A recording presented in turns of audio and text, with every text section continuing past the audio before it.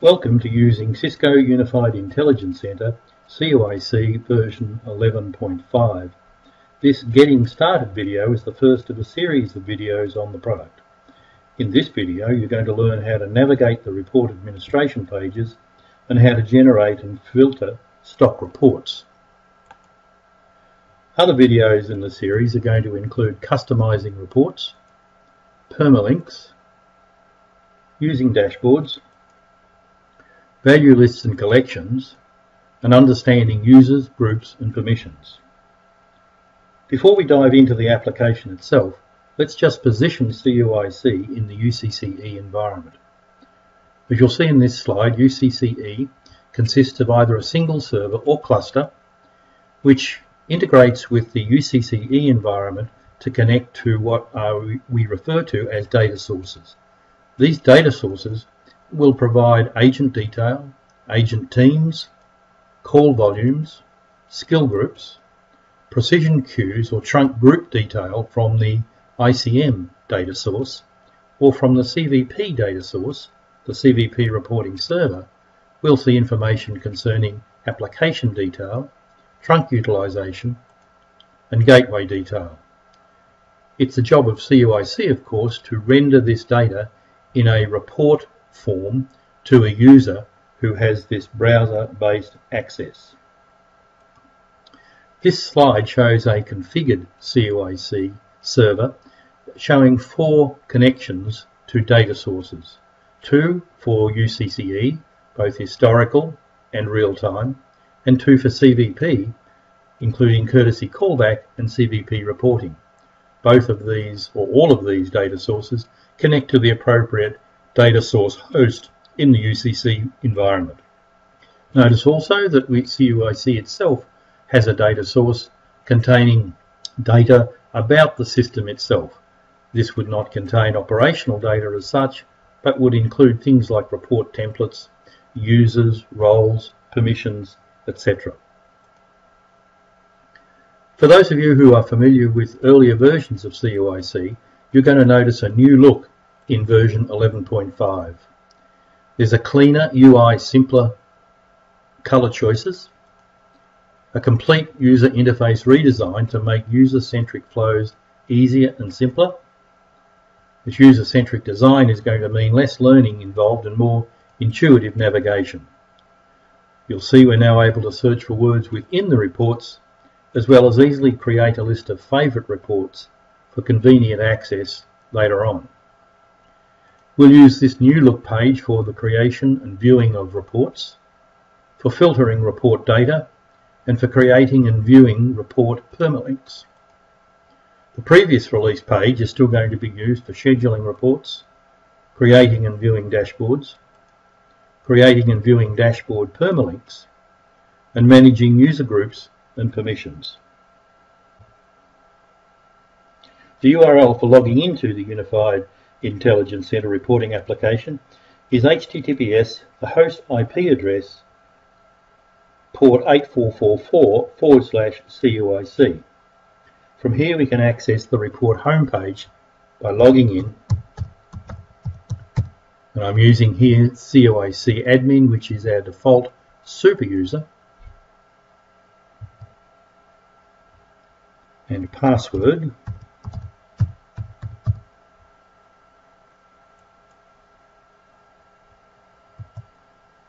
which brings us to the CUIC homepage. Notice because we are logged in as the CUIC administrator with full rights and privileges, we can access every link along the left hand side uh, as shown here. To access our stock reports, we will click on the reports link on the left hand side. Notice that we see a folder containing stock reports which, which if we open we'll see CCE reports, CVP reports, and CUIC reports, which are essentially just audit uh, trails. Opening up the CCE reports, we'll see we have all fields historical and real-time, historical and real-time reports for outbound option, as well as transition reports for uh, historical and real-time for those users that have been migrating from an Avaya system to Cisco. You'll note here that we have the ability to rename or move or delete uh, these folders. Let's open up the All Fields Historical Report, see what we can see. Notice immediately we get a list of all of the stock reports that are present with the system. These stock reports would have been imported by your deployment partner during deployment of the system.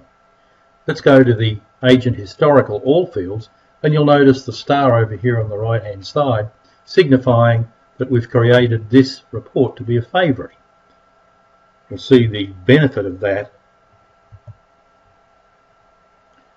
Notice as a stock report we have the ability to save it as a different report but no ability to edit. Feature of the stock reports is that they cannot be edited. Let's open up our Agent Historical All Fields report and take a peek. First thing you'll see is we must choose a filter uh, and we'll look at the year to date for our report and we'll select every agent simply because we don't have a subset collection at this point. Click Run and our report is rendered. We can expand on the agent name to associate the agent with each skill group membership and get uh, call handling details for each agent against each skill group, as you can see here. Notice that we have only a limited number of options from the editing tools in the right hand side. Those being we can, for example, examine the SQL query statement used for, as the basis for this report. We can export this service to an Excel spreadsheet if we wish.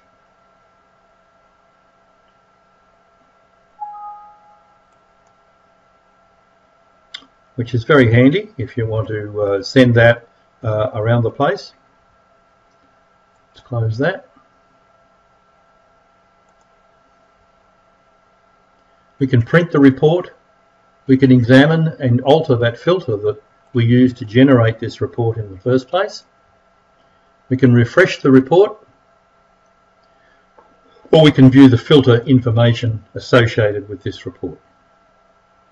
A useful feature of this screen is the ability to get rid of columns that you're not really interested in at this particular point in time.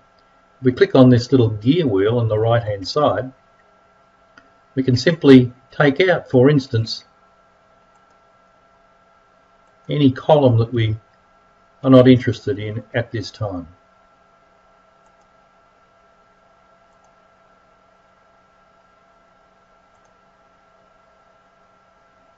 Like so. Notice that this is happening in real time. There's no need to click and then rerun the report. It's a dynamic configuration. So by removing some or all of the columns that you're not interested in, it makes it much easier to be able to look at this report.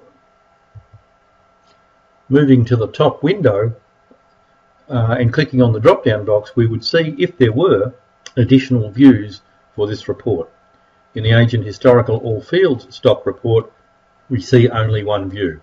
However, watch this space because we're about to look at some other reports which may give us alternate views. Let's move back to our Reports tab. This time we'll select the call type historical all fields. You'll immediately notice that again we need to choose a filter but this time also include key criteria and field filters as well. For our date range we'll select the year to date as per normal. Click next and we're presented with a selection of the key criteria Again, we'll simply select all of the reporting objects, i.e. all of the call types at this point. Click Next. Now, note that we do have the ability to create some field filters. I'm going to ignore that right now, but we'll come back to that and see the benefit of that after we run this report.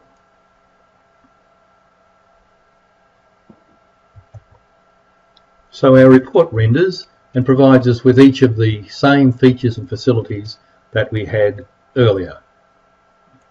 In particular, we can take anything out from the service level down. And essentially what this is doing is taking that same report, hiding the data that is superfluous to requirements,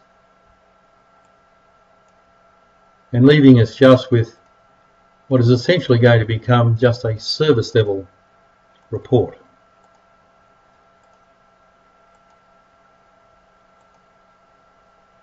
Let's tidy this up a bit. And you can see against each of the call types and against each of the uh, date timestamps a service level measurement for those calls. If we look at the summary summary here, we see that the service level is ranging from you know 66, 31, 11, etc. up to 100. Supposing for argument's sake we only wanted to look at those call types which were performing poorly. In other words, we wanted to see only those call types which were, were returning a service level, let's say less than 60%. We can do that quite easily by revisiting the filters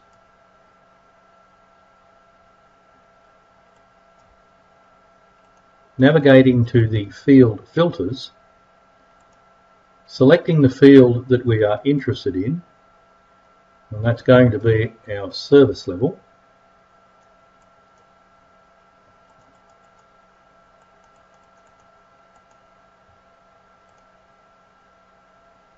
And we're only interested in looking at entries with a service level report of less than, let's say, 60 percent We'll run that report.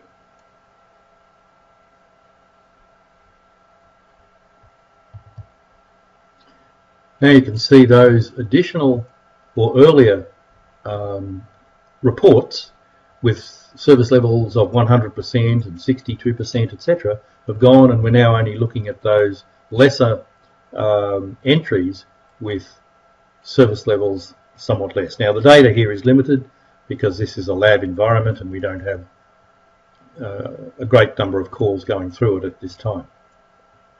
But hopefully you get the idea uh, of filters in a stock report.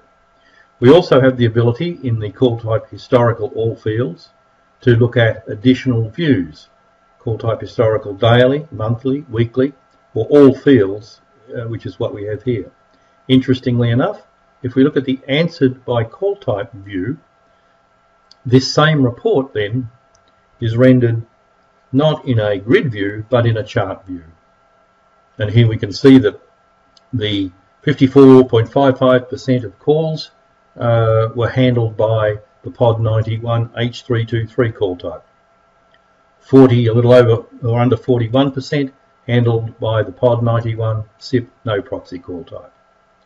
So again, a fairly handy way of taking a quick snapshot uh, of the dynamics of your particular contact center. Let's return to the reports. CCE reports. And this time we'll take a real-time report. And that will be an agent real-time report. Again, we'll select all of our agents and select run.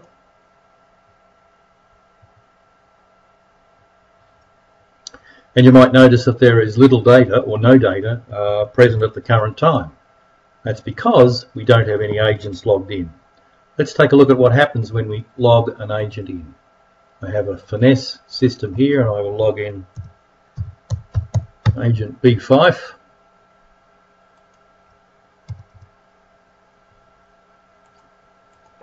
his password.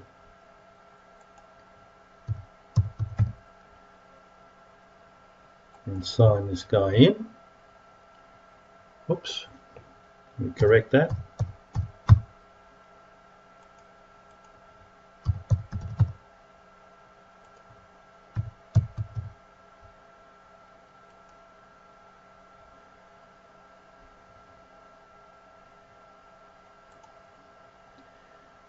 And Barney 5 is now logged in and not ready.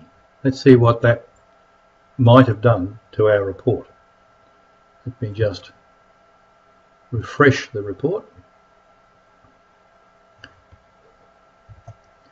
And lo and behold, Barney5 now appears and his agent state of not ready appears. Let's go back, change him from not ready to ready, return to the report, and we'll see his state gone from not ready to ready. In the event that Barney received a call, this agent state would of course go to talking. So there you have a brief introduction to stock reports. Let me just go back to the reports menu itself and show you one more thing.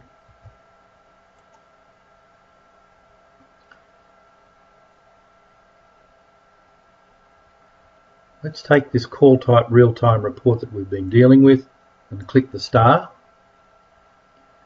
Let's go back to our CCE reports, our all fields historical reports, and let's go back to our call type historical report and make it a favorite as well. And now just let's just look at the favorites.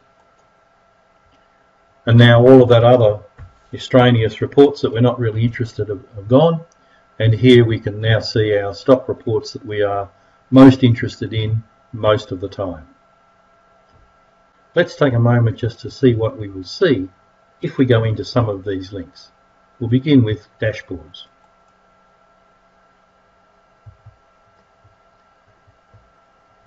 Notice that clicking on the dashboard link brings up the earlier release page which allows us access to the dashboards drawer.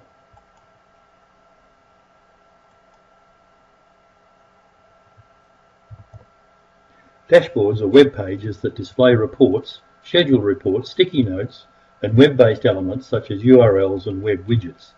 They are relevant to specific workflows and responsibilities. The dashboards you see when you open the dashboard drawer are created dashboards that you or others have created. You can see the dashboards created by others only if they have given you permission to view. Moving down to report definitions.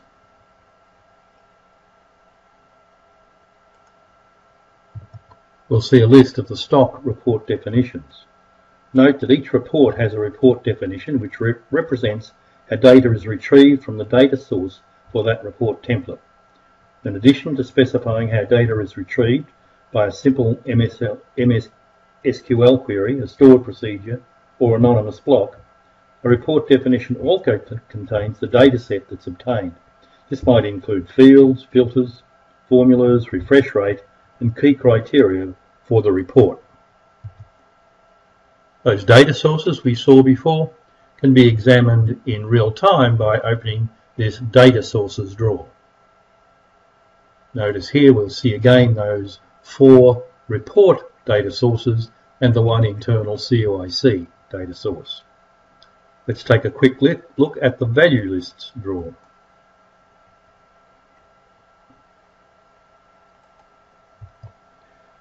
Value lists contain all reportable items of the same type. For example, all agents or all skill groups. CUIC is installed with stock value lists as you can see here and users with the value list collection designer user role can create custom value lists. A value list is associated with the key criteria field of a report, as we'll soon see. Collections are a specific subset of a particular value list. For example, all sales agents might be a collection from the agent's value. And finally, the security drawer, uh, where we would have access to the users, user groups, and user permissions. Each of these drawers will be the subject of a separate video in this series.